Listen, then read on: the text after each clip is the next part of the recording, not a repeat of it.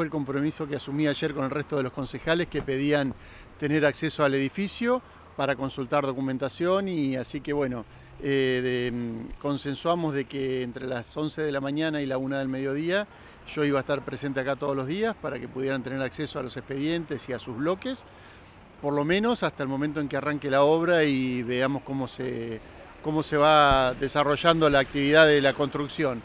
Pero en principio fue lo que, a lo que me comprometí.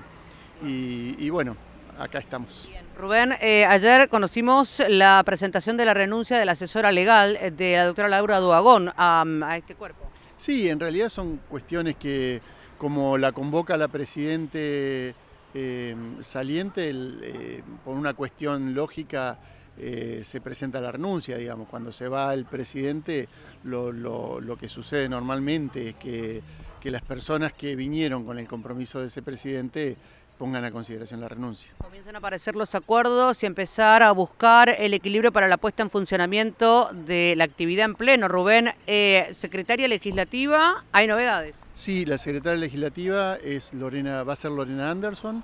Eh, ella es empleada de planta, ha sido secretaria legislativa varias veces y bueno, nos va a hacer en esta instancia, hasta que se nombre un nuevo secretario legislativo, va a colaborar con con, en este caso conmigo, presidente a cargo, y con el futuro presidente por un tiempo corto. Bien, no hay sesión este viernes, se pospone para el próximo, pero sí labor legislativa y comisiones. Sí, la sesión se decidió ayer también, yo convoqué a las once y media de la mañana una reunión con los con todos los concejales, en la que acordamos que la, sesión, la, ordinaria, pasa de este viernes al lunes 19 en el Melipal.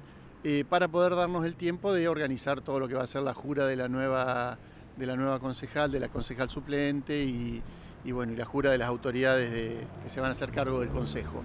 Eh, y sí, mañana a partir de las 8 de la mañana labor legislativa en el Melipal y eh, a las 9 y a las 10 Consejo en Comisión, o sea, de, de 9 al mediodía Consejo en Comisión con los dos temas que se venían tratando y que se habían invitado a participantes, a vecinos que participaban, de eh, fibra óptica y del proyecto de la multisectorial de vecinos por los servicios.